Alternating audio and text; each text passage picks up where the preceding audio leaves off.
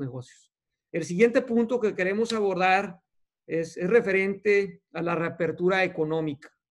Nos parece a nosotros y a nuestro consejo urgente que haya un plan claro de reapertura escalonada de nuestra economía.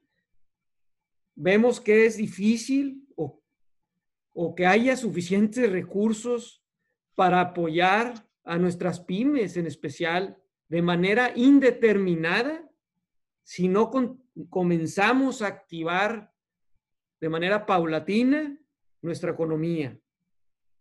No todas las regiones están en la misma situación del COVID, por lo cual nos parece que este diálogo y este plan de reactivación debería de ser factible y deberíamos de abordarlo ya.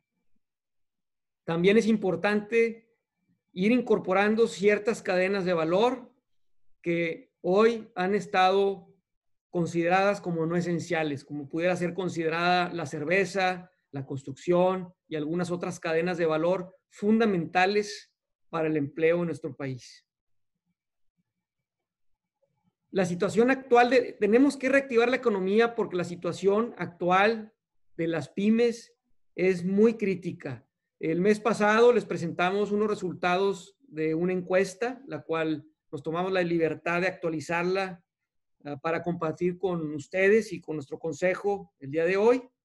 Y les comparto ciertos datos eh, que salieron de esta, esta encuesta.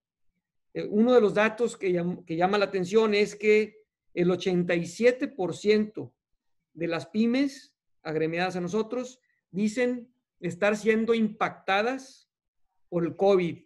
Es un